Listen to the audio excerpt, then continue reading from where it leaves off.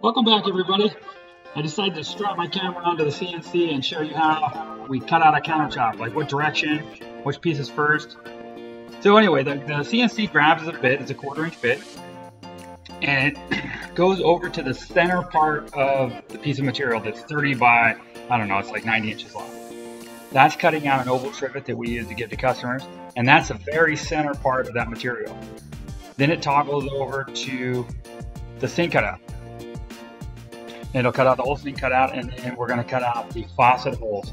And so as you can see, we're working our way from the inside of the piece of material to the outside of the material. And the reason we do that is because the vacuum suction of the CNC holds down the material. So now it's cutting out an end splash. And as you can see, it's cutting out the outside portion of the material. And then when it comes and finishes, it moves away just a tad bit because the suction can't hold down such a small piece. And this is the backsplash here.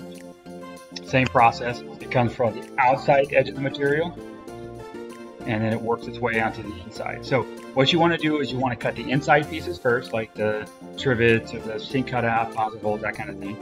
And then you're going to go all the way to the outside of the material so that as you cut these pieces, they fall off the larger section because the larger section is going to have the greatest suction down onto the CNC which means it won't move. And by not moving, you're going to get the right shape. So this is cutting out the final shape. Nothing else is cut after this. And you can see it's not moving on the CNC because there's so much volume that it, it won't move.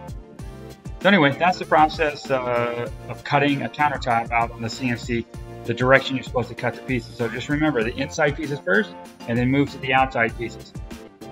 And then of course the CNC moves back to its original position. Thanks for watching everyone. Please like and subscribe if you liked the video and please comment below if you have any questions.